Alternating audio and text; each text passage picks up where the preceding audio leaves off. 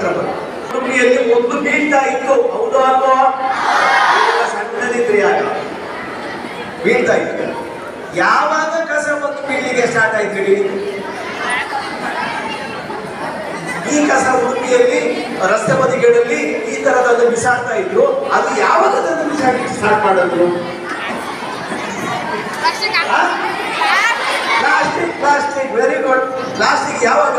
ಅಂಗಡಿಯಲ್ಲಿ ಯಾವಾಗ ಕೊಡ್ಲಿಕ್ಕೆ ಶುರು ಮಾಡಿದ್ರು. ಆವಾಗ ಮನೆಯಲ್ಲಿ ಎಲ್ಲ ತ್ಯಾಜ್ಯ ಅದರಲ್ಲಿ ತುಂಬಿಸಿ ತಗೊಂಡು ಬಂದು ಜಾಗ ಅಂತ ಹೇಳಿ ಬಿಸಾಡಿದ್ರು ಹೌದಲ್ವಾ